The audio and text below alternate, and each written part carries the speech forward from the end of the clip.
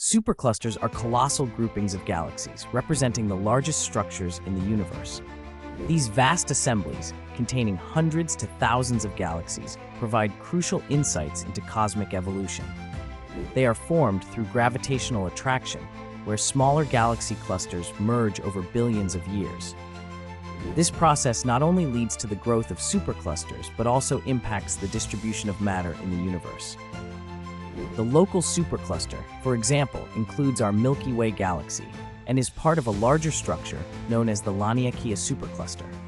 Superclusters influence the cosmic web, a vast network of galaxies and voids, shaping the large-scale structure of the universe. Their gravitational forces can affect galaxy formation and evolution, leading to unique properties in the galaxies they host. As we look to the future, studies of superclusters will enhance our understanding of dark matter and dark energy, two of the greatest mysteries in cosmology.